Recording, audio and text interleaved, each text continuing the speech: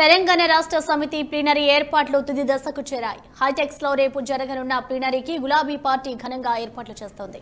ముఖ్యమంత్రి కేసీఆర్ను తొమ్మిదో అధ్యక్షుడిగా రేపు లాంఛనంగా ఎన్నుకోనున్నారు. రాష్ట్ర జాతీయ అంశాలపై ఏడు తీర్మానాలు చేయాలని నిర్ణయించారు. ప్లీనరీ వేళ హైదరాబాద్ నగరం గులాబీమయంగా మారింది. ఉద్యమ పార్టీగా ఆవిర్భవించిన టీఆర్ఎస్ ఏడున్నరేళ్ళుగా రాష్ట్రంలో పాలన కొనసాగిస్తున్నది.